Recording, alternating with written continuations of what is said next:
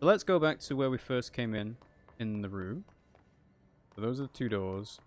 So let's go... Yeah, we'll explore the room to the right.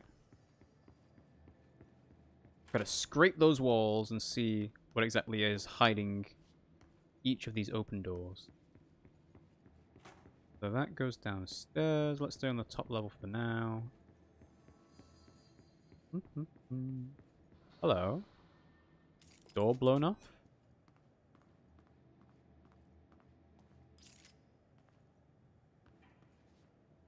Okay. Half expecting enemies to load in there. But alright. Um, hey, what time is it? Quarter to four. Hello? Horowitz? I've heard you on... help over there. I heard you on the uh, the report in the Black Rock Quarry, talking about a Sounds like there's a man down. Hello. I'm here. What happened to you? I got in a little scrap. Name's Horowitz. I. Oh! Ah! Is he gonna be okay? Don't look at me like that. I'm fine. But Wells is still in there. You gotta get him out. Who's Wells? My squad mate. We were hunting a runaway altered item. We followed it down into the clocks. The clocks. A threshold. The Bureau sealed it up years back because of all the clocks. We, w- we followed the altered item inside, but the way it was acting, we weren't ready. Me and Wells were the only ones to make it to the motel court. He was right behind me, but he never showed up on this side. I'll go find him. But first, you need to get to a medic. Mm-hmm. Uh, Wells is the medic. Oh. Please, you gotta get him out of there. I'll be fine, really. Roop can patch me up later. Fine. Okay, But sure. I'll be back for you. I damn well hope so. Please don't bleed out on me. The motel court there. It should get you into the clocks. Sorry, the threshold. Alright, well, before we do that, can I open this? A matter of time. So, we have lots of different things to do. Um, do I have to keep this equipped to have the time track? I suppose I can just do the the motel stuff anyway without having to track it. Uh, what mic do you use, Rob? So, the mic we are using is the Neewer uh, version. That is N-E-E-W-E-R. It's basically the most basic XLR microphone that we could find. So, you'll hear people recommend, like, the Shure SM57B or something like that. Or even a Rode Procaster kind of thing. But those are, like, pretty much top of the range XLR microphones. And it turns out your microphone quality depends quite a bit on the interface you use, not just the microphone itself.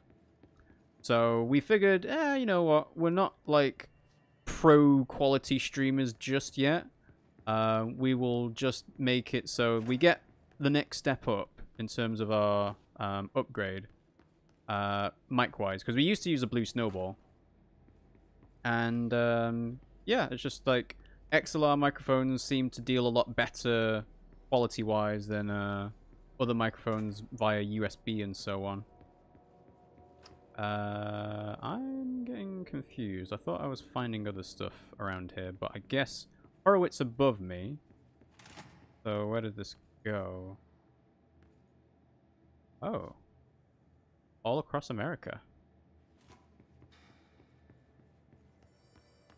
Alright, well it looks like I'm not getting attacked by any hiss anytime soon, so that's good. That gives me time to explore. Um, yeah, I mean, there might be better quality versions of the same microphone we're using now, but I know Neewer as a brand, N-E-E-W-E-R. Uh, they seem to be fairly good for what you get. Oh, it's open now. Interesting. Uh, that might be where I need to go for Dylan. Let's do that. And yeah, the lapel microphones that we also use when it's both me and Pimmsy. Again, those are... They're not like the cheapest versions of the lapel mics, but they are like the basic quality. Um, so it's a step up, but it's not much of a step up, if that makes sense. The interface we use is a Behringer 404, so it's a UMC 404 HD uh, code, I think. Let's have a look. Uh, I can't see the... Oh, no, it's called U-Phoria UMC 404 HD. Um, yeah. There you go. Alright, so let's have a look-see at what else we have. Pram procedures. Containment cell must be properly ventilated. Inhalation of the item smoke causes blank. Item is a baby carriage with a black shade and steel wire wheels. Left front wheel is slightly bent, causing a distinct wobble when pushed. Item produces smoke incessantly. Smoke density varies. Smoke is generated without apparent fire or ignition source. An incident in Paris in 1979 brought the pram to the attention of the Bureau. Smoke filled an antique store where the pram was being sold, killing the shop's owner. Detailed records of the event leading to the item's discovery were destroyed in an incident in the Panopticon. Interviews with living witnesses were reperformed at the order of the Archives and Records Chief. Okay. Was there anything else on that? Nope. And then multimedia, that should be the FBI, yeah, FBC reminder about pink documents. Okay, well, let's try this, shall we? One, two, three. Okay, so we're here. so, last time we were in the Ocean View Motel, I got very confused about what the game needed from me. And it seems like it's all about uh, ringing this bell here. And there's a clock next to that bell, so... Uh, just gonna leave it... Yeah, just gonna check around a little bit. Come on, you need the most... You need the best mic, the most expensive one the most expensive camera, the most expensive PC, the most expensive monitor, and all the consoles, the most expensive accessories, and the most expensive games. Yeah, not quite. Um, like, at the end of the day, this is a hobby. It's not a job. So we can't necessarily uh, splash out as much as uh, we may want to. But yeah, so that's at what? Okay, so it just resets. Do I have to stop the thing?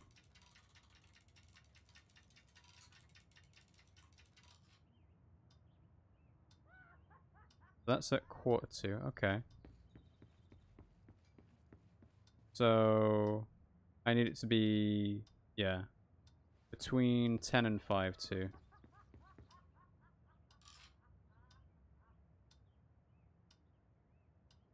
No? Just quarter to two is fine?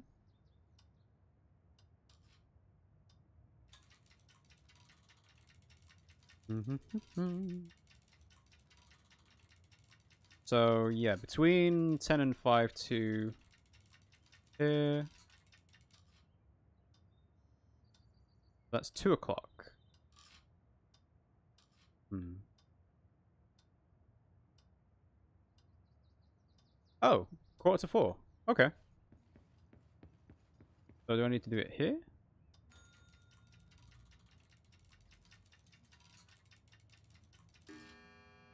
Ah, okay. 10 to wait. Alright. Uh, Imaginary Idiot says, Well, guys, I'm going to bed. Oh, thanks for joining in, Imaginary Idiot. Hope you had fun today, and uh, we'll see you again soon.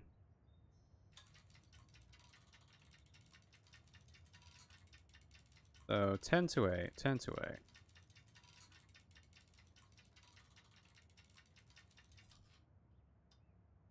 8. Uh, okay, didn't quite line up. I feel like I should be able to properly stop the the hands moving. And that's just gone 10. Aha. I don't think this door has ever opened. No, no, this door has opened up. Never mind. Okay.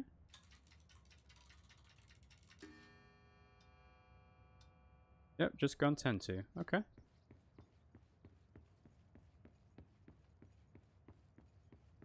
One more ring.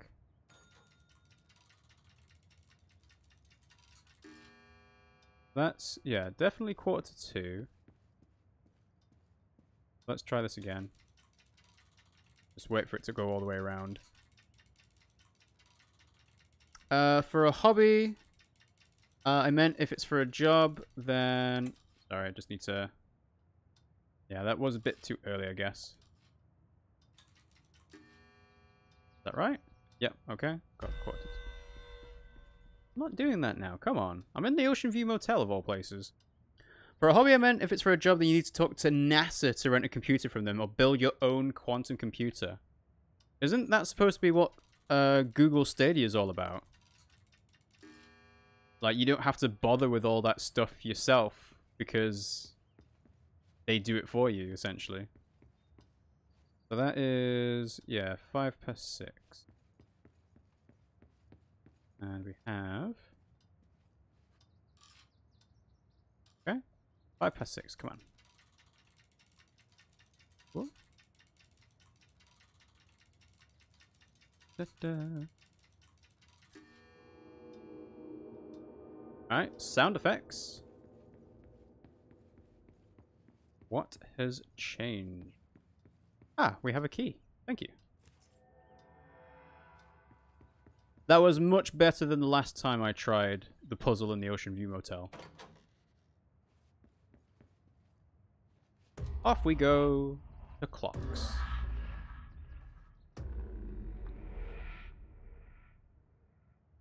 Find the missing medic. This Wells guy can't be far. You'd hope not. Uh, rent a computer, but you get the computer in your house. I mean, if it works out financially for some people, you could do that. But yeah, like, not having the control over the device yourself would feel a bit awkward to me. I think Google Stadia were like, hey, have a free pro membership on us. And it's just like, when am I ever going to ever do this? Not only are the games not appealing, but the quality just isn't going to be great either. Those must be the clocks he was talking about. So many clocks. Quarantine has grinded to a stop yet again for me. I lack the motivation to do anything. Thus, everything, even playing games on the Xbox, has gotten boring for me. I'm sorry to hear that, um, Water Demon. Um, oh dear. I guess what I would say about that is to try doing something new and outside of your comfort zone. Um, because the challenge of doing something new can stimulate you so that you don't have to think about, oh, the thing that I usually do, I'm not interested in anymore. I mean, that's an, an understandable feeling to have, honestly, because you know, quarantine sucks, basically. But I think doing something completely different to what you did before can get you out of a rut, maybe.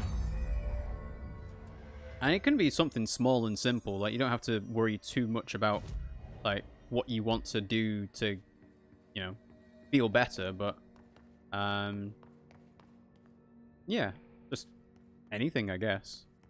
Do some drawing, take up a sport. Oh, hello. I think he's dead. Yeah, that looks dead. I could shoot him in the face for you. Hiya. Oh, uh, before we talk to you, was there something else I picked up? No. Okay. Hello. Are you Wells? Your friend asked me to come looking for you. That must be Horowitz. Glad he got out. I stayed back to help the others. Did a shit job of it, clearly. You tried. You can't blame yourself. That's enough. Horowitz needs your help now. How do we get out of here? We should head back through the threshold. We can look for other survivors as we go. We better hurry.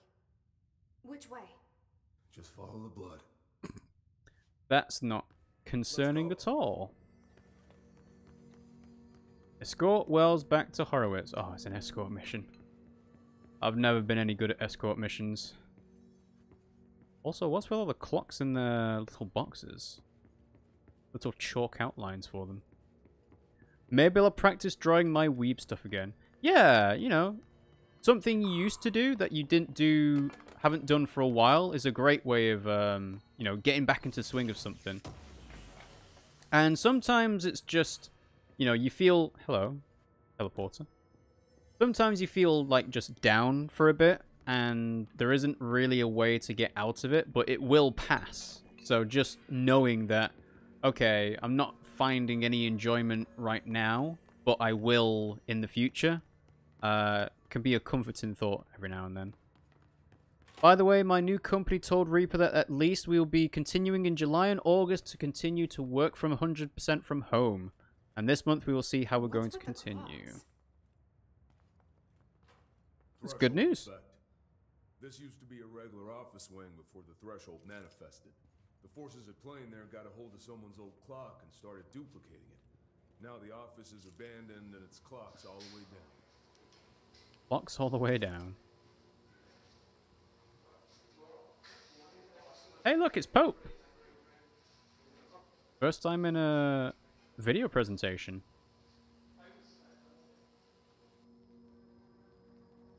Who's this? Is this Ash? Probably not.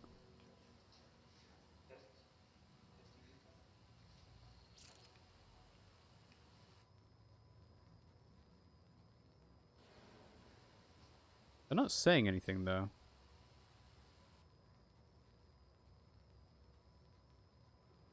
Also, Pope changed her hair quite a bit.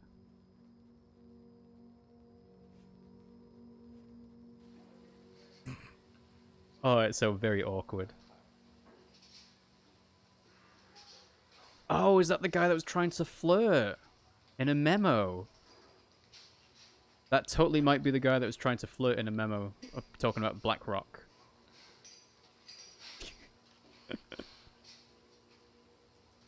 Sharing awkward glances. Cameraman, you're not doing a great job here. Oh, is this all behind the scenes?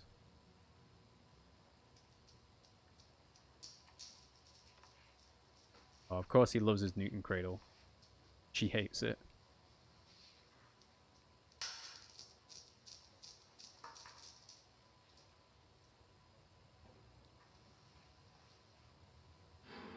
Oh, he was trying to be funny. Okay.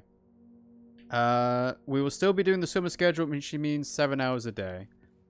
Yeah, I mean, um, in Spain, they tend to have a, a different schedule when it's I forget if it's when it's warmer or when it's colder, but you used to do five hours a day. Is that right, Reaper? So the seven hours a day schedule is a little bit more than what people do usually.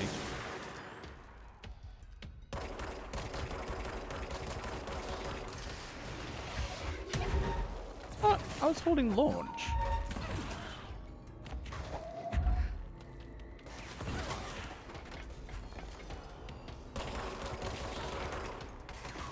I'm not seeing a health bar on uh, Wells, so I'm... Whoa. Need to worry about me first. So hopefully I don't have to worry about him um, dying on me.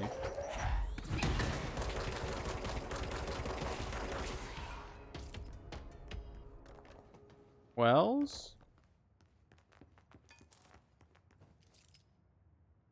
Okay, you're not Wells. You look very decomposed though, sir. Right.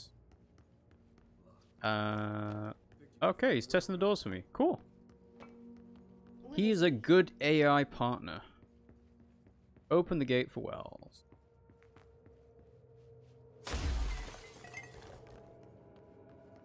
Okay. No files? Ooh. There's a file over there. I can definitely tell there's a file over there. Alright. Uh, looks like we have to climb the wall of clocks. Uh, in some uh, some companies start work uh, only work in the mornings, but not five hours, usually seven hours. So, Okay, you my mistake. Out here for an altered item? The anchor, yeah. Anchor. Langston said it'd be a simple item retrieval. But the power of that thing had. I- I've never seen anything like it.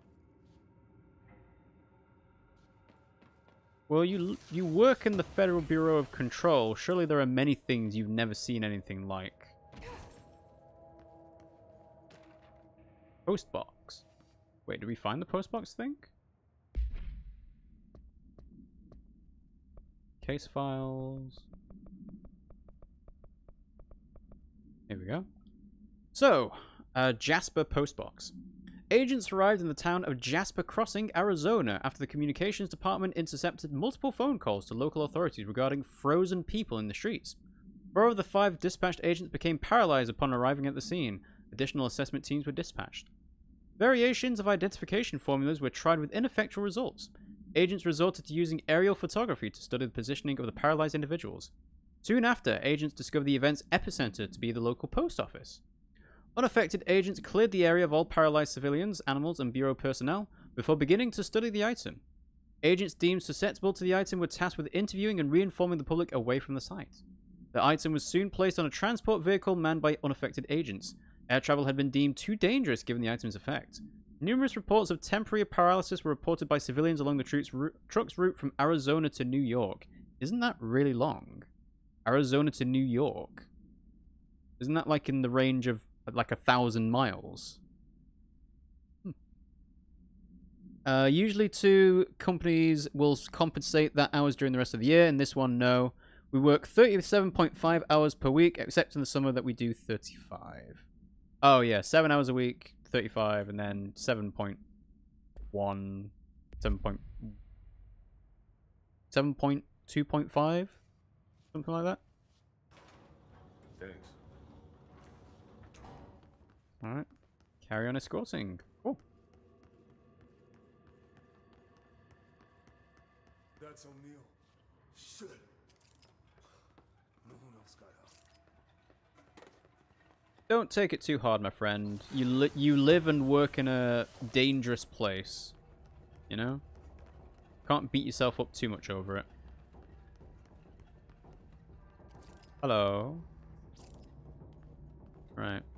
Before we go guns blazing, let's try... Well, never mind.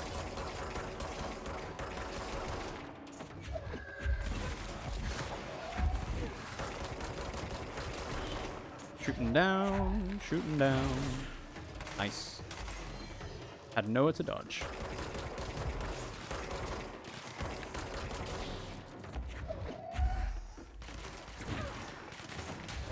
Quite get that guy up there.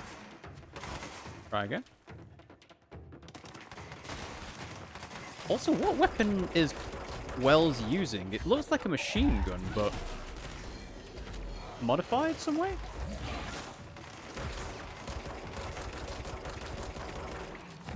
And you're a mini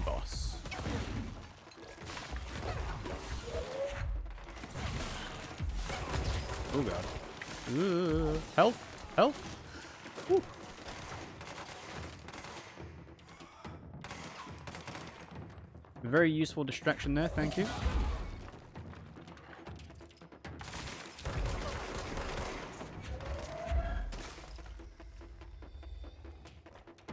Any more? Some more guys on the top level, but I'm going to go down here and get the mods and the health. Alrighty.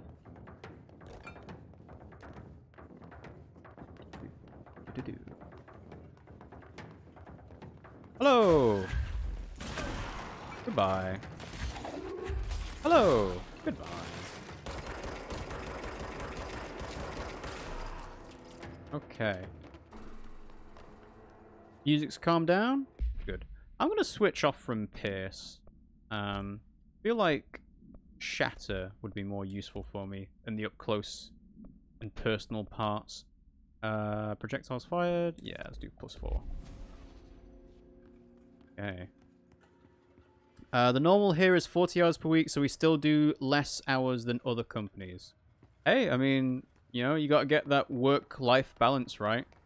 Um, I'm quite fortunate that the company I work for is very good about that as well. So they have um, different um, working hour contracts, but um, Couldn't let it get out into the bureau. hmm. Okay. I'll need to come deal with that altered item later. If I open the safe room now, Wells could get hurt. Go that way. So where is the safe room?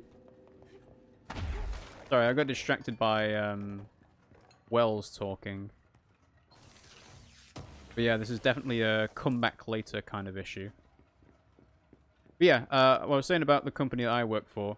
So if you joined at a certain point of time, your working contract got grandfathered in.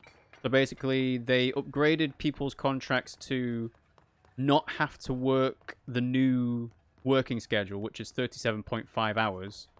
Um, We locked it tight. Yeah, yeah, I got it. We need to get back to But other people are still on the original one, which is 36 hours, if I'm uh, not mistaken.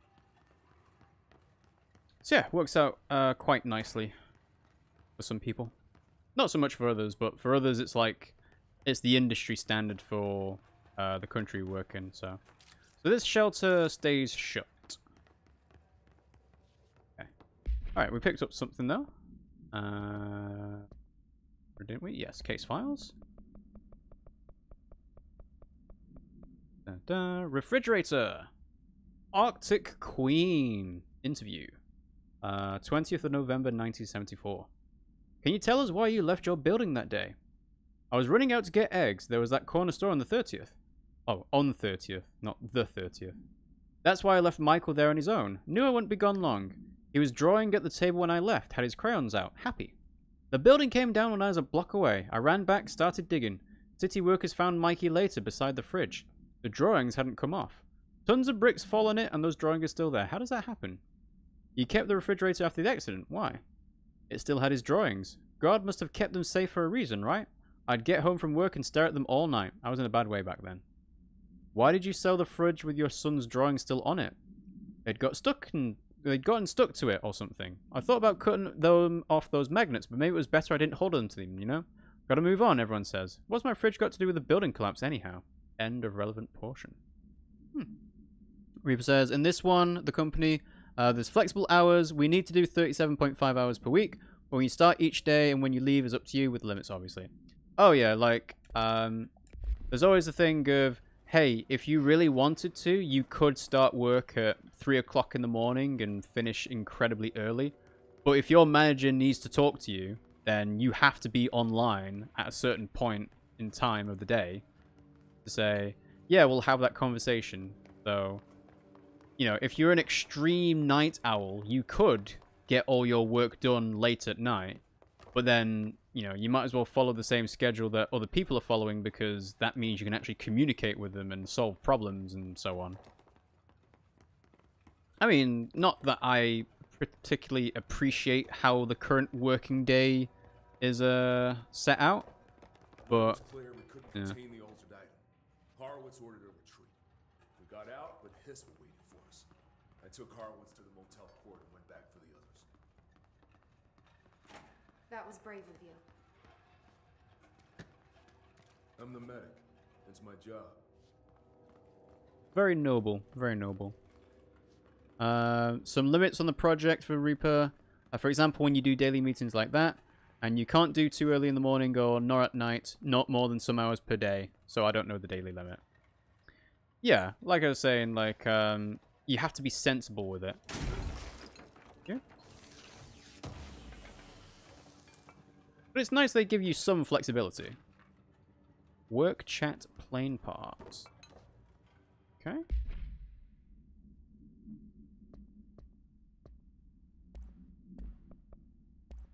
Correspondence.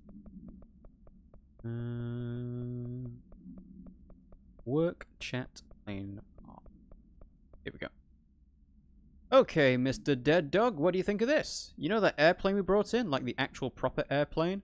Guess who they made catalog every individual piece of that plane to be examined for suspected altered status. I had to count every bolt, nut, and piece of non-connected metal.